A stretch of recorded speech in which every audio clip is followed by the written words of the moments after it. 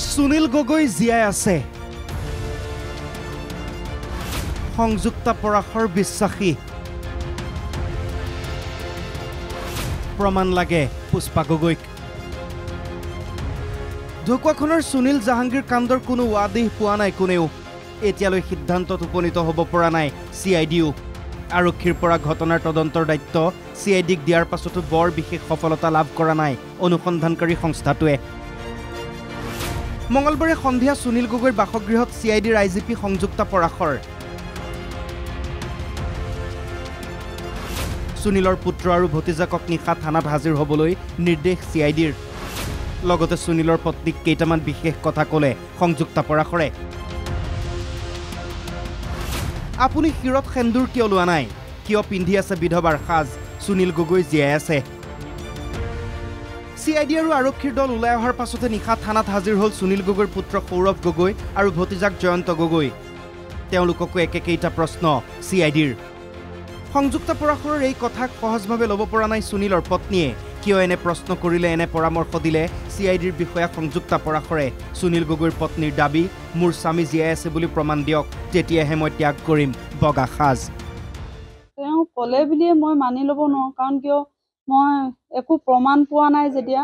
মই তেওঁ ক'লেও মই এই সাজযোৰ পৰিধান কৰিব হেৰি নকৰাকৈ থাকিব নোৱাৰোঁ।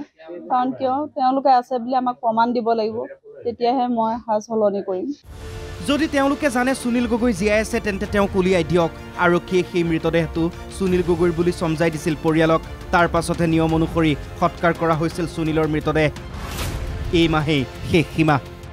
ডেড বডিটো আমাক চঞ্জাই দিয়াৰ কাৰণে আমি সৎকাৰ কৰি সকাম কৰিলোঁ। তেওঁ তেতিয়ালৈকে ডি এন এ ৰিপৰ্টটো অহা নাছিলে সেইটো কাৰণে আমিও গম পোৱা নাছিলোঁ বুলি কৈছে। সৎকাৰ কৰিবলৈ দে মৃতদেহটো আপোনালোকেই চঞ্জাই দিছিলে আৰু দিয়াৰ কাৰণে আমি সমাজৰ ৰীতি নীতিৰে যিখিনি কৰিব লাগে কৰিলোঁ। তাৰপিছত আমি তেতিয়া ডি এন এ ৰিপৰ্ট পোৱা নাছিলোঁ সেইটো কাৰণে আমি গম পোৱা নাছিলোঁ। আৰু তেওঁলোকৰ যদি কিবা সন্দেহ আছিলে আমাক ক'ব লাগিছিলে সুনীল গগৈ আছে বুলি তেওঁ আমাক আগত উলিয়াই আনি দেখাব লাগিব।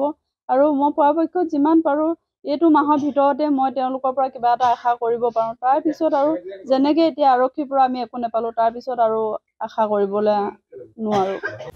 ইপিনে বুধবাৰে সুনীল গগৈৰ বাসগৃহত উপস্থিত স্থানীয় বিধায়ক নৱকুমাৰ দলে। তদন্ত প্ৰক্ৰিয়া ক্ষিপ্ৰতৰ কৰাৰ আহ্বান বিধায়কৰ। সুনীলৰ পুত্ৰৰ শিক্ষা দীক্ষাৰ দিশটো বিবেচনা কৰাৰ আশ্বাস দিলে নৱদলে এতিয়া আমি ইতিমধ্যে তেখেতলোকৰ লগত কথাখিনি আমি পাতিছোঁ মাতৃৰ লগত কথা পাতিছোঁ। ল'ৰা আৰু ছোৱালীৰ বিষয়ে শিক্ষাৰ বিষয়খিনিও পাতিছোঁ। নিশ্চিতকৈ আমি এই বিষয়খিনি আলোচনা কৰি এটা ব্যৱস্থা গ্ৰহণ কৰিম। এই ঘটনাক লৈ এতিয়াও কেৱল ৰহস্য আৰু ৰহস্য।